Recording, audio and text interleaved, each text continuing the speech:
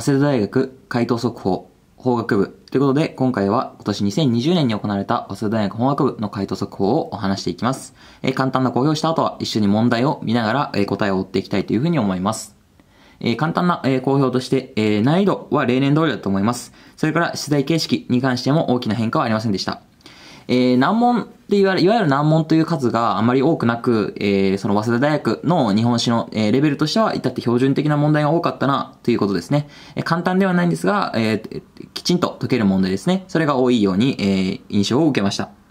えーまあ問題をうちに見ていくときにまあ話をしていくんですが、あ大問1、2、それから4、この、えー3つはですね、比較的標準的だったですが、まあ大問3が、えーややなんだったかなという感じですね。他の3つよりは難しかったかなというふうに思います。ただこの大問3の範囲が明治大正期のところなんで、えー早稲田大学、明治大正期はすごい深く聞いてくるので、まあここの早稲田大学を受験して過去問をきちんと解いていたら、そんなに、まあ難問っていうほどではなかったのかなというところですね。えきっちり過去問を解いていたら、まあ出やすい部分ではあるので、早稲田大学からのメッセージとしても、ここの部分はきっちりやっておきなさいっていうことだと思うんで、え来年以降受験験する受験生は、えここの部分しっかり頑張っておいた方がいいと思います。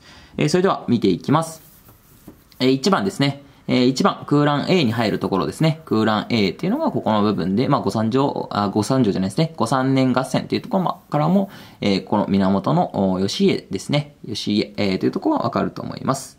えーそれから、あ空欄 B、空欄 B のところで、えー、摂書、えー関白を外籍としないというところからも、ここが五三条天皇おということがわかります。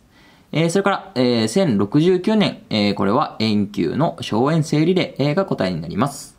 次、えー4番です。4番は、えーいいですね。誤ってるところを選びなさいということなんで、いいです。この石棺家のみは例外。えー、というのなんですが、この荘園整理例、石棺家も例外ではなく、時には、えー石棺家、えー石棺家の荘園であろうとも、関係なく整理したというところなんですね。えーそれが分かっていれば、このいい解けたと思います。えーそれから、あ5番ですね。言葉上皇の時ということで、西面の武士になります。西面の武士。えー6番です。えー6番は、あこれ、あですね。えーこの平治の乱っていうのは別に貴族の内部内部の対立ではないので、方言の乱も平治の乱もと言ってしまっているので、えーこの6番、あが答えになります。えーそれから、えー次ですね。えー次の問題が、えーと、これですね。次の問題が、あこちらです。えー、7番のとこですね。これも大丈夫ですね。容認の場合の代価を何というか、あー木題ですね。それから8番、えーこの説明も大丈夫ですね。えー樹永2年10月戦時。で、9番ですね。9番、これが、えーうになります。9番がう。で、えー10番の答え。10番の答えが、あうの部分ですね。うの部分。えーで、えーまあ、標準的な問題が多かったっていうのが、この大問1の公表になってくると思います。えー続いて、えー大問2のところですね。えー大問2のところおで、えーまあ、江戸時代のところですね。江戸時代のところに入っていきます。えー問いとして質問としては、えー1番、えーこれが絵のところですね。絵のところ。なんできちんと江戸時代を時代の流れとして整理することができているかどうかっていうような問いですね。えー2番。2番がこれが糸をですね。糸を。まあ、特殊世論、折りたく芝の木ってきたらもうこれは荒井白石ですよね。荒井白石。で、荒井白石の功績じゃないものなので、糸をがなります。糸。南梁二主銀といえば、えー、あれですね。田沼沖継ですね。田沼沖継です。で、4番。あ4番じゃですね。3番です。3番、B に当てはまらない人物をって、この B の部分が、えー、徳川吉宗、えーのところなので、徳川吉宗、えーの、えー関わっていない人物としては、えーこの荻原重秀が挙げられます。えー4番、えー4番、この、えー、太宰春代、えーこれも有名なところですね。江戸時代の文化史も非常によく出てくるところなので、えー、太宰春代も大丈夫だったというふうに思います。えーそれから5番、えー5番が、えー、いです。5番がい。これ資料なんかでよく出て出てきたりもしますよね。お触れ書き漢方修正です。お触れ書き漢方修正のところです。えー6番、えー6番これが、えー、あとおです。あとお。2つ選びっていう問題ですね。えーそれから7番が、うげの一言です。このうげの一言っていうのは、この松平定信が書いたんですが、えーこの定信という字ですね。定信。気づきましたでしょう？かこの定信。これを、うげ、うげ。で、えーうげってことなんですね。うげの、えー一言。で、この人じゃないですか。で、言うじゃないですか。それをうげの一言っていうふうに松平定信が名付けたわけなんですね。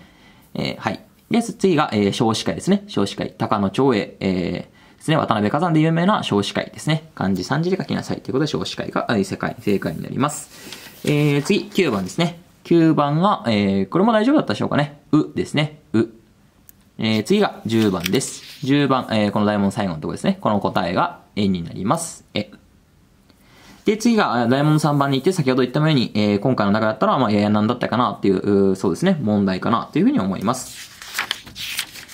えー、問題、説問を見ていきます。説問を見ていくと、やはり2つ選べという問ですね。2つ選んでくださいという問題で、えー、まあ、この資料、えー、あれですね、石石橋丹山のところなんですね。石橋丹山の資料、これも非常に早稲田大学よく出ます。やはり早稲田大学出身の、で、総理大臣までなった人なので非常によく出るところなんですね。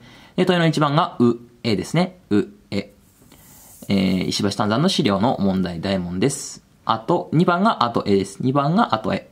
で、3番が、えー、チンタオ、チンタオですえ。4番が、う、というとこですね。4番が、う。えー、それから、えー、5番が、お、にやってきます。で、6番が、えー、いいですね。空欄 B に当てはまるところというところで、えー、イタリアですね。えー、五大国、当時の五大国について分かっていればいいと思います。五大国について分かっていたら、この空欄 B の前のところで、えー、もう A、B、普通と出てきてるので、じゃあ、残りはイタリアか。ということで、カタカナで A って書きなさいということなんで、イタリアっていうカタカナが答えになります。えー、次ですね。えー、次が、えー、この7番の問題ですね。えー、7番の問題が、うですね。7番の問題が、う。えー、それから8番ですね。8番の問題が、あ、おですね。8番の問題が、お。で、えー、それから9番の問題が、あ、えです。9番の問題が、え。で、10番の問題が、えー、これ、え、この資料っていうのが、ある政党の党首となり、ってことで、えー、石橋丹山なんで、石橋丹山が、あ総理大臣になってその時の内閣を組織したその政党っていうのは、え自民党ですね。それは正式名称でってなってね、自民党だと罰になると思います。自由民主党が、うん答えになります。自由民主党です。この石橋丹山のところだったり、えー、この明治大正期、えー、大正期ですね、の、この政治のところは非常によく出るところになってくるので、えー、きっちりと勉強しておけば、決して早稲田大学を受験する生徒に、受験する受験生にとっては、そんなに難しくはなかったと思うんですが、まあ、他の大問と比べたらやや難しかったかなというところですね。対象期のところですね。えー、そして、えー、次が最後のお題問ですね。えー、戦後史のところですね。戦後史の大問です。戦後史の大問。えー、問いの1番です。問いの1番、あ、あです。問いの1番、あ。で、問いの2番が、え、問いの2番が問いの5番までの記述が続くんですが、もうこれも難し難しくなかったと思います。そんなに。えー、間接統治ですね。間接統治。アメリカが直接統治したんじゃなく間接的に統治した間接統治です。それから、あのこの13カ国によって構成される機関、極東委員会ですね。極東委員会。それから人権指令に、重原喜十郎。ここも非常によく出てくるところなので、えー、きっちり、えー、書けると思います。ただ、漢字ミスが怖いと思うので、しっかり漢字は確認しておいた方がいいと思います。えー、6番です。6番、えー、的中とか、えー、書かせてもらったんですが、これは何が的中したのかっていうと、えー、この戦後史のどあテーマ史として戦後史のところをゼロからわかる日本史という形で、えー、動画を出していたんですが、まあ、五大改革指令のところをきっちり、えー、触れておいたんですが、まあ、そこのところで五大改革指令触れておいて、まあ、五大改革指令じゃないものなので、この絵になるわけですね。絵になる。ということで動画の中で話したことが問題に出てきたので、的中というふうに、えー、書かせてもらいました。的中しました。えー、次は、えー、7番ですね。7番のところが、えー、うです。7番がう。えー、これも消去法で、えー、解いていけば、明らかに誤っているものって書いてあるぐらいなんで、えー、消去法で解いていけば一発だと思います。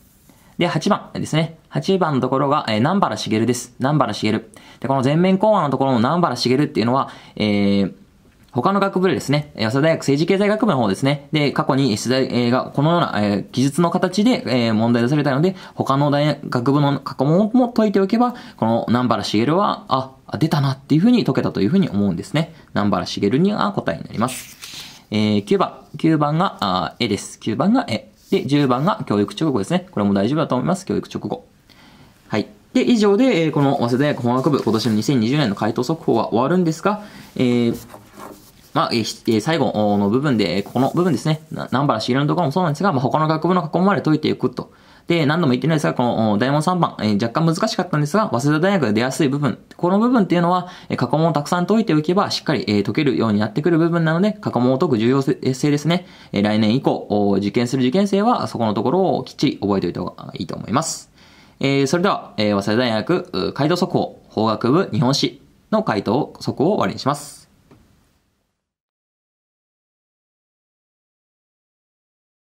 いかがでしたでしょうか？この動画が、皆さんの助けになれば、とても、とても嬉しいです。大学受験チャンネルでは、受験に挑戦するすべての人を、全力で応援しています。